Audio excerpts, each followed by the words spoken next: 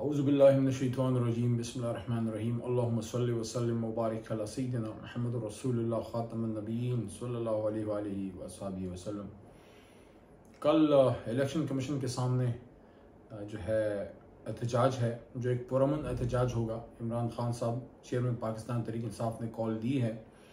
और ये एहतजाज इलेक्शन कमीशन ऑफ़ पाकिस्तान के सामने, जो उनके चीफ इलेक्शन कमिश्नर और राज साहब और बाकी जितने जो उनके मेंबर्स हैं, उनमें से बास के रवैये के ख़िलाफ़ है और ये एहतजाज की कॉल फैसला आने से पहले इमरान खान साहब ने पीर वाले दिन दी थी, क्योंकि जो माजी में उनका रवैया रहा उसकी वजह से हमें तरीक इंसाफ को ये लगता है कि जब तक इलेक्शन कमीशन ऑफ़ पाकिस्तान को उसके आइनी पैरामीटर्स में नहीं चलाया जाता, और जो उसका हक है एक आइनी इदारे का, क्योंकि पाकिस्तान को आगे जाना है जमहूरीत की बुनियाद पर और जमहूरीत अगर मज़बूत होगी तो उसके लिए एक आज़ाद शफाफ इलेक्शन, और वो तभी मुमकिन होगा कि गैर जानबदार एक फ़ाल, और एक हर तरह से एक गैर जानबदार हर मामले में एक इलेक्शन कमीशन का इदारा जो है वो काम करे। वो तभी मुमकिन होगा जब वहाँ बैठे जो उनके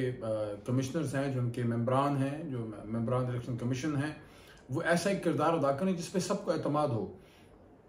और ये बहुत ज़रूरी इसलिए है कि जो एहतजाज की कॉल इमरान खान साहब ने चीफ इलेक्शन कमिश्नर और बाकी मेम्बरान के माजी के रवैये के ख़िलाफ़ दी थी, वो जो अभी फैसला आया है, उसने उस पर मोहर तस्दीक सब कर दी है कि ये जो फैसला आया है ये आप अगर देख लें तो हर तरह से इंतहाई कमज़ोर फैसला, एक एक ऐसा फैसला जिसके बारे में कहा जाता है कि इस तरह के फैसलों के बारे में कि it's a decision which can not even stand on its own legs जैसे ही एक आज़ाद अदलिया के मोहतरम जज साहिबान के सामने पेश होगा तो मेरा ख्याल है तीन दिन भी नहीं निकाल सकता ये फैसला।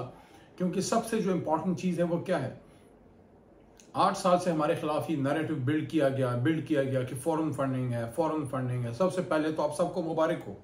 और जितने तरीके इंसाफ के वेल विशर्स हैं वोटर सपोर्टर हैं जो 25-26 साल से तरीके इंसाफ को सपोर्ट कर रहे हैं, और जो इसको अपना घर, अपनी जमात, पाकिस्तान के बचाव के लिए एक किला, एक ढाल समझते हैं, उनको मुबारक हो कि जो गलत इल्ज़ाम तरीके इंसाफ पे, इमरान खान साहब पे लगाया जाता रहा, आठ साल से बदनाम किया जाता रहा कि फ़ॉरन फंडिंग है, फ़ॉरन फंडिंग है। जनाब को इसराइल से पत्नी फंडिंग ले ली तो हिंदुस्तान से ले ली तो पाकिस्तान के ख़िलाफ़ बहुत बड़ी साजिश है यहूदी एजेंट है, फला है, ये है, वो है, वो धड़ाम से गिर गया। खुद इलेक्शन कमीशन जिस पे हमें सौ एतराज़ हैं उनको भी मजबूरन ये कहना पड़ा कि फ़ॉरन फंडिंग नहीं है, ये ममनुआ फंडिंग का केस है।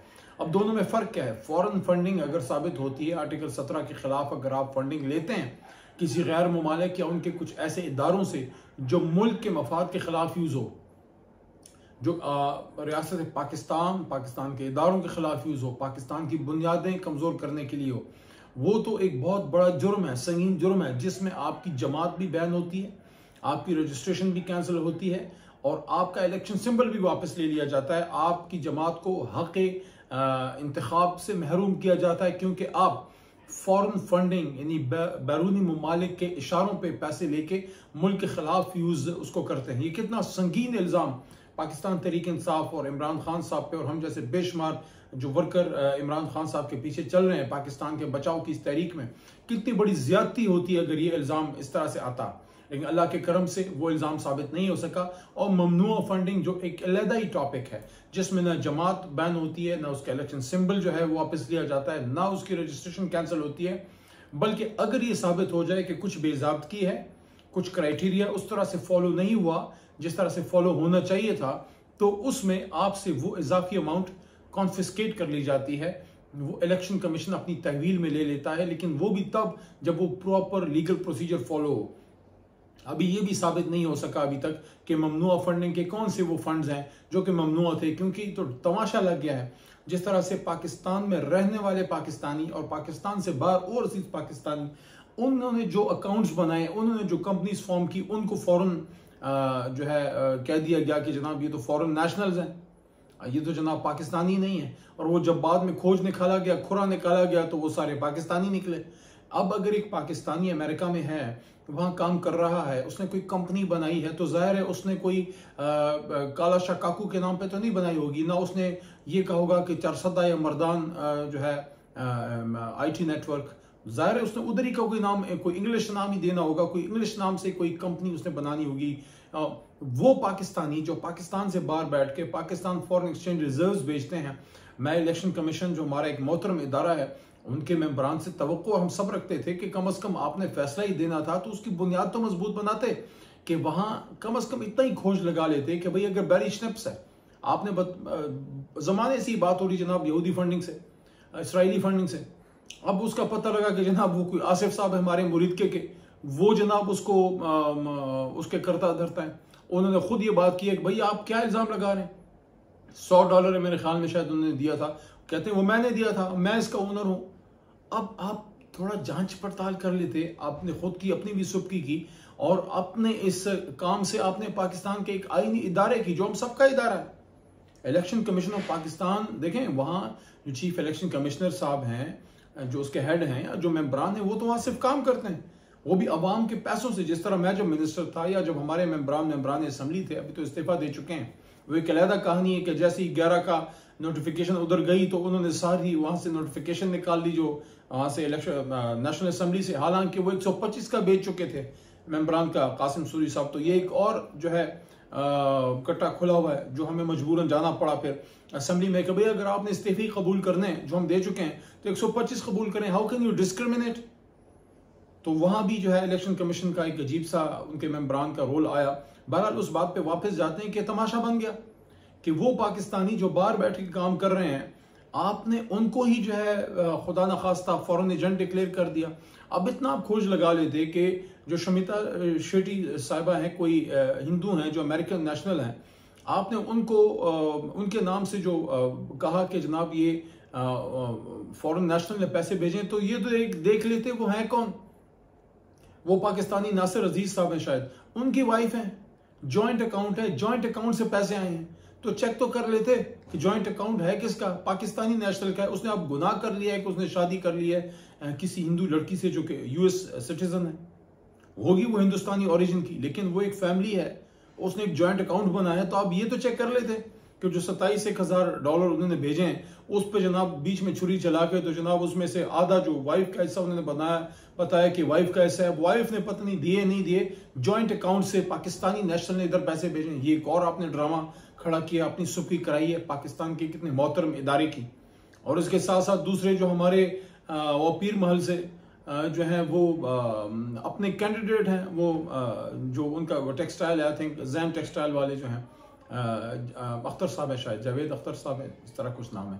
वो खुद कह रहे हैं, भाई, और हमारे वो कैंडिडेट हैं एमपीए के, वो कहते हैं, भाई, मैं पाकिस्तान में बैठा, पाकिस्तानी हूँ। आपने मुझे किस तरह फॉरेन नेशनल डिक्लेयर कर दिया और किस तरह से कहे, पाकिस्तान से बाहर का कोई जो है, इदारा है, और उसने भेजे, मैं पाकिस्तानी, इधर पाकिस्तान में बैठा हूँ भाई। अभी और भी वो कोई जो फरीदी साहिबा हैं, खातून जो हैं, उन्होंने तो बाकायदा वीडियो चला दी है। एक और भी कुछ हजरात ने जो है आई थिंक कोई शेब साहब है। तो इस तरह से बहुत से लोग ऐसे सामने आ रहे हैं, वो कह रहे हैं, भाई, हम पाकिस्तानी हैं, कहाँ आपने हमें जो है फॉरेन नेशनल डिक्लेयर कर दिया है? और वो चालीस हज़ार अकाउंट्स में आपको मिले भी तो ये बीस, पच्चीस, तीस लोग। और वो भी जो है सारे पाकिस्तानी जो है वो कह रहे हैं, उसमें अगर कोई खातून का आ गया है यूएस नेशनल का तो वो वाइफ है पाकिस्तानी सिटीजन की तो इतना कोई अपना तमाशा बनाता है। और फिर एलएलसी जो लिमिटेड लाइबिलिटी कंपनी जो पाकिस्तान तरीक इंसाफ ने बनाई, बाकी भी जमातें बनाती हैं। पाकिस्तानी, अब इनको हमें लेक्चर भी देना पड़ेगा समझाना पड़ेगा, पढ़ाना पड़ेगा कोचिंग क्लासेस ले लें तरीके इंसाफ से। कि बाहर से जब आप फंड बेचते हैं तो बैंक्स के थ्रू बेचते हैं। जो चोरी का भेजा जाता है, जो मनी लॉन्ड्रिंग करवाई जाती है बाहर से, जो बाहर से ब्लैक का मनी आता है, जिस तरह से इल्ज़ाम है, मियाँ साहब पे कि उन्होंने जो है माजी में उसामा बिन लादन से जिस तरह रिपोर्ट्स हैं कि उन्होंने लिए तो वो आते हैं बैग्स में। वो बैंकिंग चैनल्स के थ्रू नहीं आती वो चीज़ें।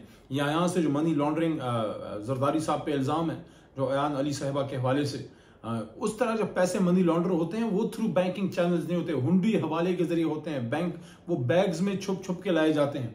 वो हमारी तरह नहीं होते कि वहाँ कंपनी बनाई, अब पाकिस्तान तरीके इंसाफ ने अपने नाम से एक लिमिटेड लाइबिलिटी कंपनी बनाई एलएलसी कि वहाँ जो लोग फंड रेजिंग करते हैं पाकिस्तानी वो पैसे किसी कंपनी के थ्रू भेजेंगे ना। वो वहाँ लॉन्चों में तो नहीं भेजेंगे।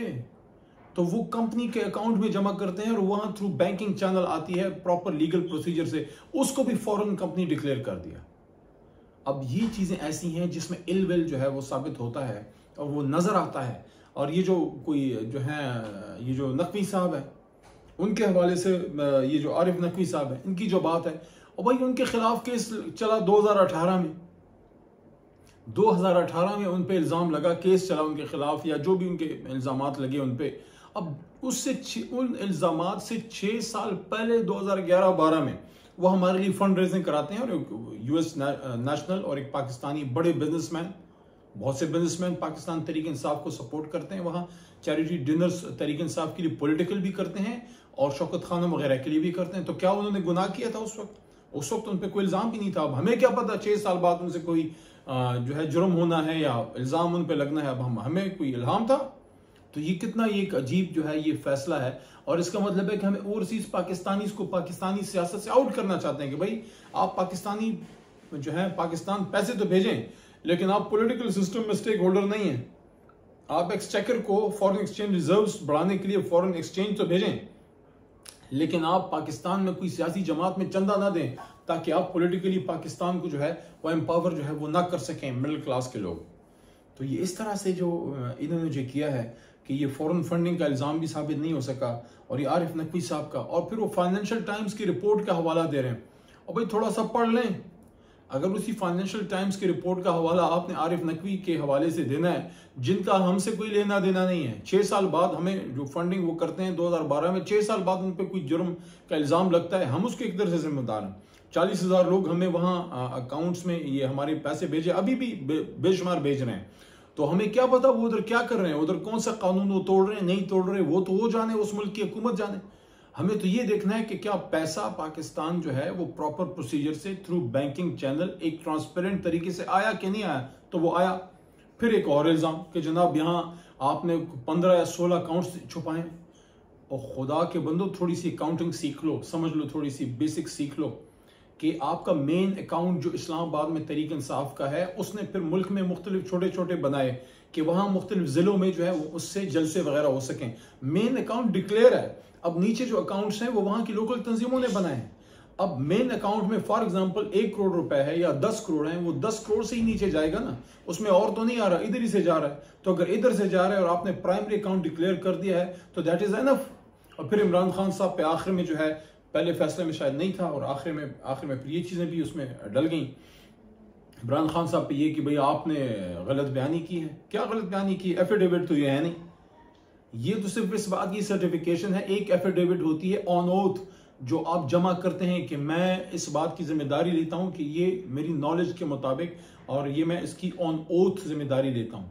और एक सर्टिफिकेशन है कि मैं इस बात को सर्टिफाई करता हूँ कि नीचे जो हमारे ऑडिटर्स हैं, उन्होंने इसकी अकाउंटिंग कर ली है। वो खुद तो इमरान खान साहब कोई सी ए नहीं है चार्टर्ड अकाउंटेंट तो नहीं है। ना किसी जमात का सदर होता होता है या हो सकता है कि वो खुद 40 या 50 या 60 हज़ार अकाउंट के सामने बैठा सदर साहब जो हैं, वो बैठे कैलकुलेशंस करें एक एक चीज़ कैलकुलेट कर और भाई, आप डिपेंड करते हैं प्रोफेशनल्स पे। आप इस बात की सर्टिफिकेशन देते हैं कि हाँ मैं सर्टिफाई करता हूँ कि जनाब ये जो ऑडिटर्स हैं उन्होंने इसकी ऑडिटिंग कर ली है। वो ये नहीं कह रहे कि मैंने चालीस हज़ार अकाउंट खुद चेक किए हैं और मैं ये कह रहा हूँ। कोई नहीं कर सकता।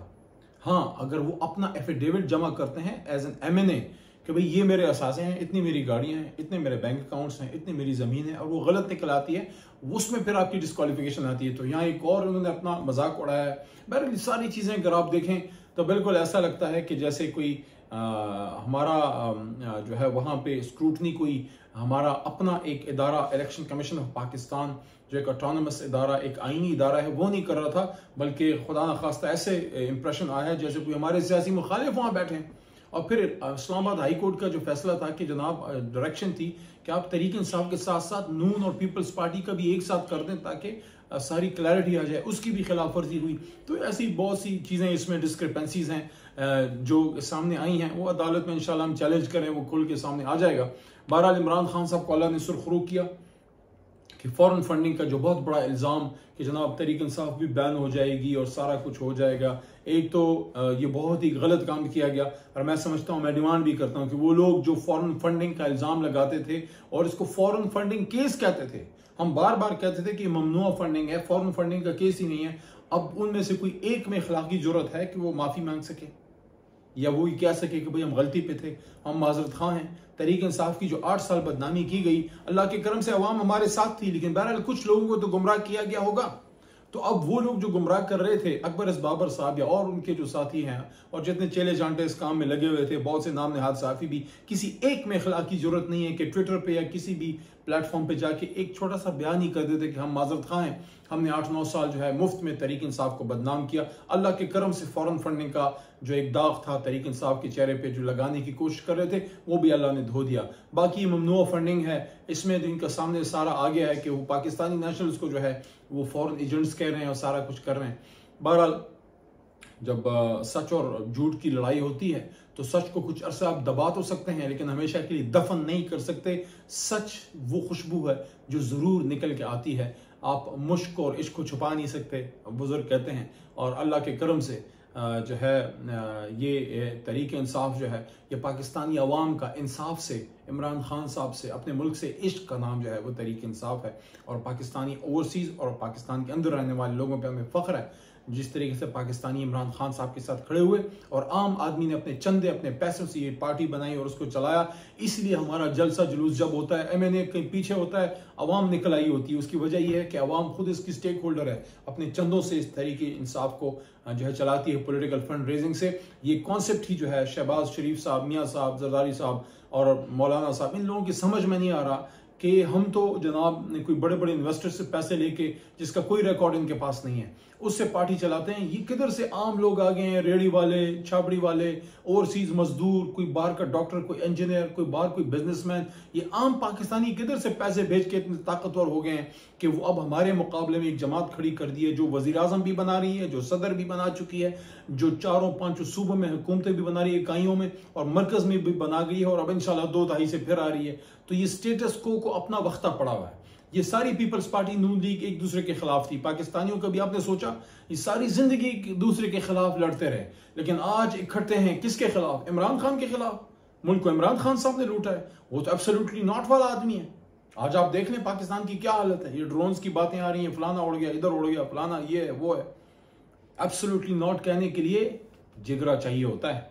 और मदीना की रियासत की बात करने के लिए आपके दिल में ईमान की रोशनी होनी चाहिए कि आप एज अ वज़ीर आज़म अमरीका और इन ताकतों के सामने टाई लगा के झुकते नहीं हैं, बल्कि आप कहते हैं, उम्मत मुस्लिमा को कि आओ अपना इस्लामिक ब्लॉक बनाते हैं। जिस तरह ओआईसी की मीटिंग में इमरान खान साहब ने जो इस्लामाबाद में हुई, उसमें ये बात की थी और मेरे उस कान खड़े हो गए थे कि इमरान खान साहब इस्लामिक ब्लॉक की और मदीना की रियासत की बात कर रहे हैं, ये लोग उनके पीछे पड़ जाएँगे। और आपने देखा कैसे एक बैन अवी मुदाखलत से इमरान खान साहब की हुकूमत को गिराया गया और रजीम चेंज हुई है। ये रजीम चेंज ऑपरेशन वापस होना है और इसकी इब्तदा पंजाब से हो चुकी है। इनशाला ये अल्लाह ताला इमरान खान साहब को तरीक इंसाफ को सखरू करेगा। कल का एहतजाज भी है। इस पर भी मैं सब दोस्तों को कहूँगा कि पुरमन तरीके से आप एहतजाज करें। जो हमारा एक पीसफुल राइट है, बिल्कुल किसी ने वायलेंट नहीं होना, किसी ने कानून को हाथ में ना पहले हमने लिया, ना आज आपने लेना है। और जितना भी कोई हालात हो हमने पुरमन रहना है, पुरमन एहतजाज हमारा राइट है कि इलेक्शन कमीशन हमारा अपना आईनी इदारा है। इसमें जो लोग इसको चला रहे हैं, खुदारा अपनी ज़ाती पसंद, नापसंद को एक तरफ़ रख के इस मुल्क पर रहम करें और इस मुल्क को आगे चलने दें, आगे बढ़ने दें, जमहूरियत को पनपने दें, पाकिस्तान को जमहूरी तरीके से आगे चलने दें ताकि तमाम इदारे जो हैं वो अपना अपना काम कर सकें। पाकिस्तान जिंदाबाद। इमरान खान साहब, पाकिस्तान तरीके इंसाफ पाइंदाबाद।